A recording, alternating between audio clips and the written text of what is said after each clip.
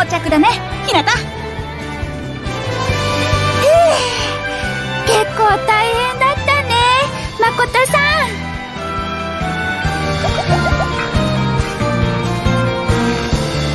あプロデューサーお疲れ様です。プロデューサーお待たせしちゃったかい？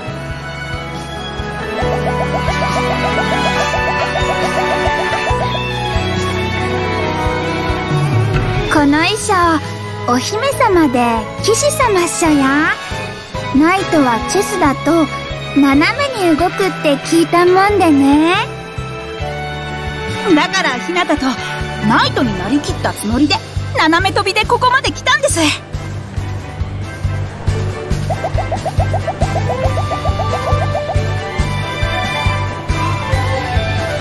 い！すっごく可愛い衣装で気合が入りました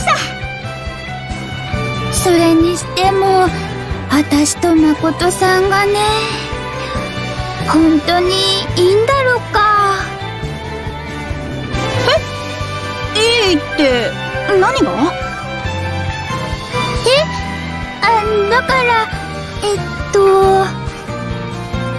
誠ひなたお待たせ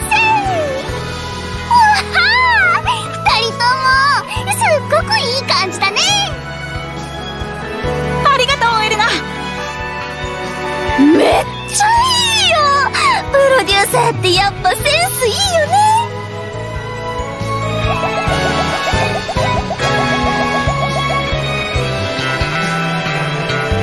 エレナもめぐみも。さっきからテンションが高くて。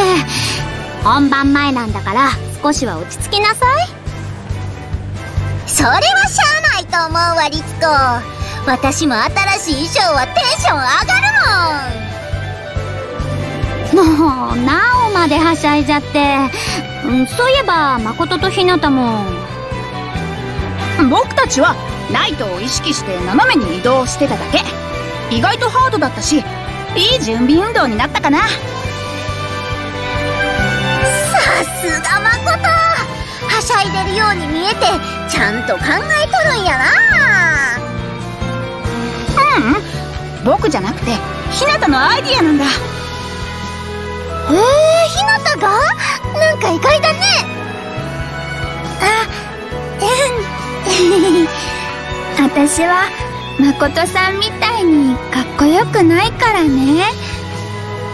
だからちょっこしでもナイトらしくかっこよく見える方法がないかなって考えたんだべさ。かっこよくない？